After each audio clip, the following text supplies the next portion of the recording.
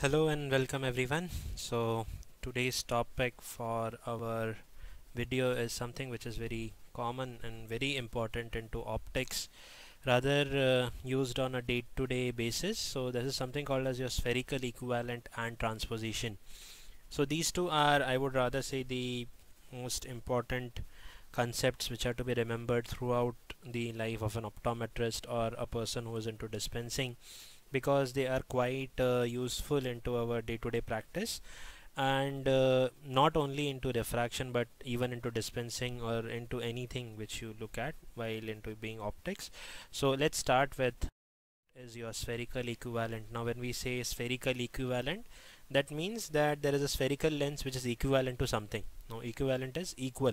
So what is the spherical equivalent? So it is nothing but a spherical equivalent can be defined as the spherical power whose focal point coincides with the circle of least confusion of a spherocylindrical lens. Now spherocylindrical lens if uh, everyone knows it is also called as a toric lens. So what is this circle of least confusion? So if we go through this diagram and if we see uh, in front of us uh, there is a diagram which says it is a toric lens because there is plus 5 diopter in the vertical meridian and plus 3 diopter into the horizontal meridian so this is acting as a toric surface because there are two different curvature in both the meridia. So one of the meridia is uh, more steeper and one is a bit flatter. So they both are making two different focal points. So this is one focal point and this one is the other. And uh, that is why uh, we, we need to find out then equivalent. Like for example this lens if I convert would be something uh, plus 3 spherical with plus 2 diopter cylinder which is giving me a focal point of here and here. These are generally used in patient with mixed refractive errors. So this is what is called as the circle of least confusion. Now what happens at this point the patient gets a bit fair amount of image. Like for example here the patient can see things a bit more clearer. So these are the sharp focal point. But here more or less the patient is still quite satisfied. So this is what the spherical equivalent is. Like for example if I don't give the patient plus, uh, 3 with a plus 2 cylinder. But I think that uh, because of some urgency or something I need to give him an urgent lenses. So there can be a spherical equivalent somewhat in between these two number.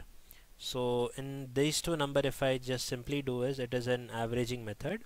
So how it is done let's see. So it is given by spherical equivalent that is equals to a spherical power plus half the cylinder. So if you simply see there is 3 and 5 so here uh, let's take example.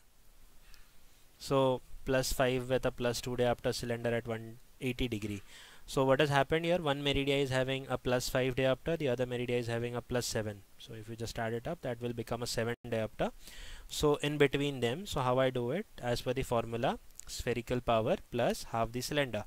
So that will make plus 5 plus 2 divided by 2 so that is plus 2 with plus 1 that is 6 so in between these two if you found so plus 5 and plus 7 that will be plus 6 diopter so when you give this patient these refractive correction uh, if he's 6'6 and if you give him this so it will be comparably nearby this. So like for example if it is 6 6 here the patient can still see somewhere around 6 6 parts or like maybe 6 9 or near to 6 6 part because the circle of least confusion is lying right onto the retina for this patient so where is it actually useful?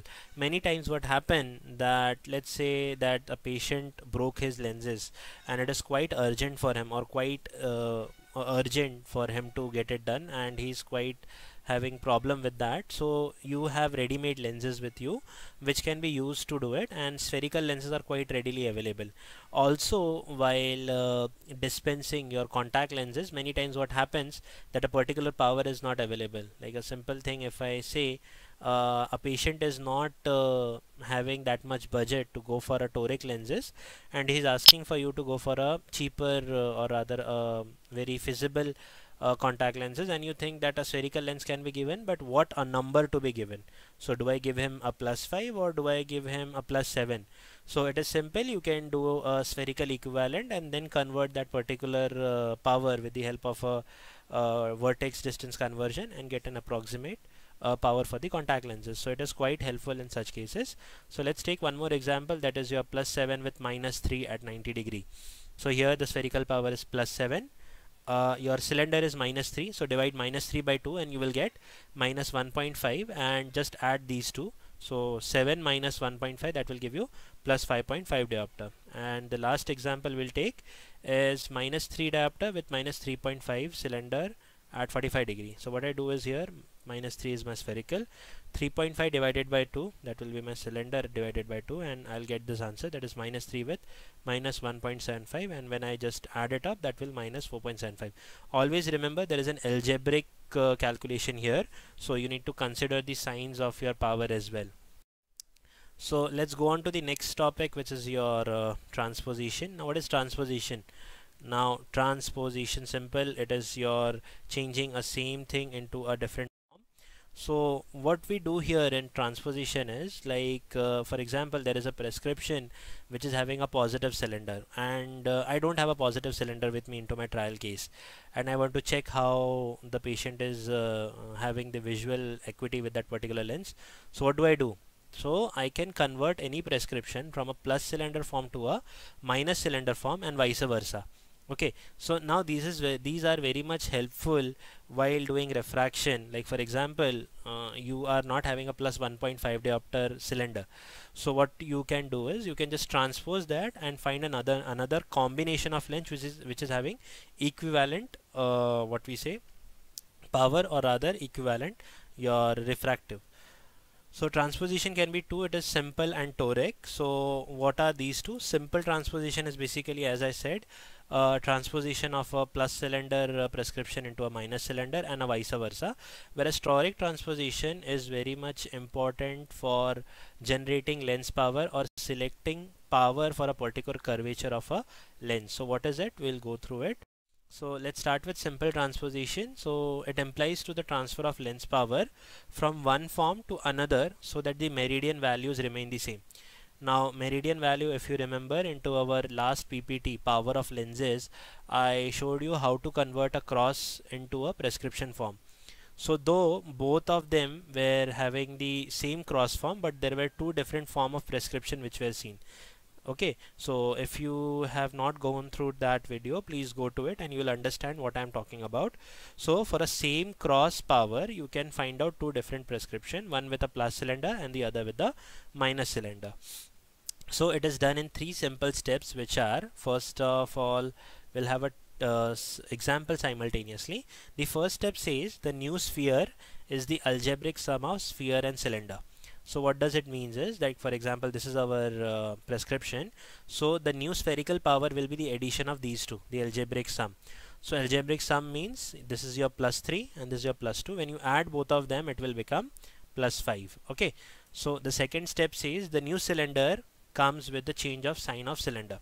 So what it says the cylindrical power for the new prescription would be the same cylinder with the opposite power. So here it is plus 2 cylinder and what I'll get is minus 2 cylinder because I just changed the sign of the cylinder. And finally what will be the axis? So if it is your less than 90 add 90 to it and if it is more than 90 subtract 90 by it. So simply we are changing the axis by 90 degree. We are making it perpendicular. So in this example we have the axis as 160 degree which is more than 90 so what I'll do is I'll reduce 90 degree from it which is 160 minus 90 which gives me 70 degree. So what will be my new prescription? It will be plus 5 diopter spherical with minus 2 diopter of cylinder with an axis of 70 degree. So this is how you do a transposition. So if you ask me this and this will give same amount of vision to the patient if the prescription of uh, one of them is given. So even it can be done with a plus cylinder form or either it can be done with a minus cylinder form. Generally we, what we do is we prescribe in minus cylinder form. That is because it is easy for the manufacturer to do. Okay? So next example we take uh, this is a minus 4.5 diopter spherical with a plus 1 diopter cylinder at 60 degree. So as the steps were the first is you add minus 4.5 plus 1 so that will make you minus 3.5 this is algebraic sum. So minus plus makes minus and you reduce 1 from this. So next is your say step 2 which is change the sign of cylinder. So it was plus 1 which will become minus 1 diopter of cylinder. And finally there will be axis which is 150 degree. How 150 degree came? This is less than uh, 90 degree. So what I did? 60 plus 90 okay less than 90 degree so you add 90 more than 90 degree you subtract 90 so here it is less than 90 so I added 90 to it and it will become 150 so now my new prescription is minus 3.5 minus 1 at 150 degree. Let's take one more example which is plus 6 diopter with uh, minus 2.5 at 10 degree. So as the step 1 says add both of them algebraically. So plus 6 minus 2.5 that will give you a value of plus 3.5 so the new cylinder would be plus 2.5 how it came? It was a minus 2.5 diopter cylinder. So I change the sign and make it plus 2.5 diopter cylinder. And finally the axis. So it was less than 90 so I added 90 degree to it. So that is 10 plus 90 that is 100 so the new prescription is plus 3.5 plus 2.5 at 100 degree. Coming on to the next part which is your toric transposition. Now this is a very important part which many people uh, find out that what is the need of it for us to understand. This is some simply gives you an understanding that a particular lens which is in front of you or rather into your hand and if it is a toric lens what are the surface power or the curvature power which are into it? Like for example I just cannot say that uh, plus 6 was given into front side and minus 2 cylinder was on back. That doesn't define what the power profile of a lens is. So this is actually a toric formula is written in a fraction form now fraction formula when I say it is basically numerator and denominator. So they comprise of the base curve the cylinder curve and its combination. Basically what combination can give you a particular prescription? So that can be done with n number of uh, your combinations given the amount of your uh, base curve or rather the sphere curve which is already present into the lens. So it is simply given by this formula that the numerator is your sphere curve that is the spherical power generated on one surface divided by your denominator will have your base curve into opposite axis. So what is the base curve I'll tell you in the next slide and the cylinder curve with the same axis. So these two I'll be explaining in the upcoming slide so let's see the example. So this is your lens which we are going to make. So this has a front uh, surface and a back surface. So I'll depict it with two surface. So this is the lens with the front surface and this is your back surface. So if you see the front surface I have written as sphere curve. Why sphere curve? So this complete your complete uh, surface will be given a single power whereas the back surface I have divided in two meridia again one meridia I have written base curve the other meridia I have written the cylinder curve. Now this will depend on the axis of the lens which I am generating. So this could be here or this could be here or vice versa depending on what axis we are making. So this is why it is required. For example this is the lens which is kept in my hand. So I need to understand what is the sphere curve of this what is the base curve of this and what is the cylinder curve for this particular lens. So this is where the transposition of toric transposition comes into play. So this is the same thing explained so what are the steps of toric transposition? So again here there are few steps which are um, uh, involved in it. So the first step says transpose the prescription if the sign of cylinder and base curve are different. So there will be a particular prescription given and then will be a base curve which is given to you. So if the sign of the cylinder given in the prescription like for example it is minus and the sign of cylinder which is given uh, the sign of base curve which is given to you is plus so you need to change the uh, prescription by the help of transposition. We all know a minus cylinder can be converted into a plus cylinder form with the help of transposition. That is done because to match up the particular cylindrical profile uh, with your uh, particular blank. Now what is a base curve? That simply means uh, lenses come with a blank blank in the sense they are pre-curved they are not straight cut pieces they by default come with a curvature and that curvature is actually uh, defined in the term of base curve the basic curve which is already present into the lens. So that power is depicted with the help of your diopter. So that could be minus 4 minus 6 plus 4 plus 6 and so on. So these are all your base curves. So first step is you need to transpose if the uh, power or rather the sign of your uh, base curve and cylinder are not same. So let's take one example. Here there is a prescription plus 6 diopter with plus 2 diopter cylinder at 90 degree. And here the base curve is given plus 4 so here the first step doesn't imply because already the base curve and your uh, cylinder are having the same sign. So let's go on to the second step. It says the base curve will be perpendicular to the axis of the prescription. So the base curve will be placed at the perpendicular axis. So what is the axis right now? It is 90 degree the perpendicular of 90 is just add 90 to it. So that is 90 plus 90 becomes 180 so the base curve will be placed at plus 4 diopter cylinder at 180 degree. So this is the first step. We got one value. Second is cross curve or rather the cylinder curve is given by base curve plus the cylinder power. So you'll add these two and the axis will be same as that of prescription okay already one axis we got. So the other axis will be given by cross curve. That is you add base curve with the cylinder curve. So that is plus 4 plus 2 that becomes 4 and 2 is 6 and the axis will be 90 same as that of the prescription.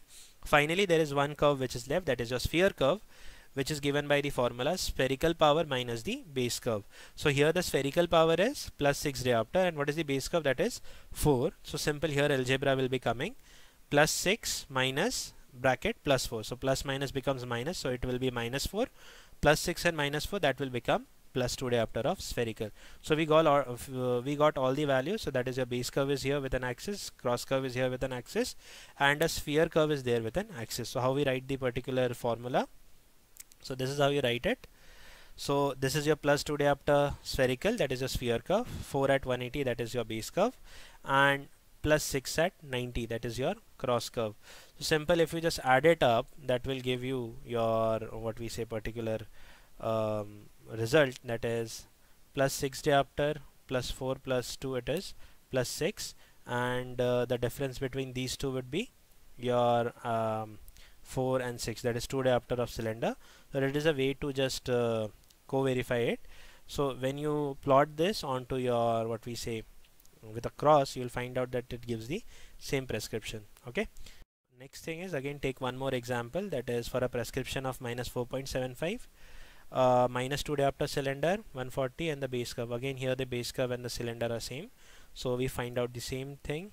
So base curve is minus 4 so what is perpendicular of 140? It is 140 minus 90 that will be 50 degrees. Cross curve is given by base curve plus the cylinder that is minus 4 and minus 2 becoming 6 at 140. Uh, sphere curve is your minus 4.75 minus minus 4 so now because of the algebraic equation here minus minus will become plus. So this is minus 4.75 and plus 4 giving you minus 0.75 diopter and the toric transposition would be spherical curve divided by your base curve with cross curve okay taking one more example here now this is one where the rule 1 will come. Here the base curve and your uh, cylinder they don't have the same sign. So what you'll do here is that you will be first transposing this equation into a plus cylinder form. So how we do the transposition? It's simple. So you convert it and you will get that plus 3.75 diopter plus 2 diopter cylinder at 180. Now remember the moment you transpose the equation you need to only take this equation for all the calculation. Please never take this axis or this cylinder for the calculation that completely messes up with your solution. Many people have this problem and they again take this one for that particular equation. Now this is your new equation and this is your base curve. Forget about this one. Okay. So now the base curve is plus 3 at 90. Why? 180 is the new axis so perpendicular to it will be 90 cross curve is given by plus 3 and plus 2 that will become plus 5 at 180 and sphere curve is given by plus 3.75 minus plus 3 so that will be again 0.75 and how we'll write the toric transposition is this way. So that is 0.75 plus 3 at 90 plus 5 at 180 so this is all about your uh, toric transposition, simple transposition and spherical equivalent. Please solve some equation by your own and rather you can find some questions or problems online also and uh, see if any doubts are coming and please report it onto the comment box and I'll try to help you with that. Uh, so thank you for your patient listening onto this video. I hope this will be useful for you in your future and in your practice and to understand the optics more better way we'll be shortly back with you with more new videos on uh, further uh, topics of optics so thank you and keep following us. Thank you and goodbye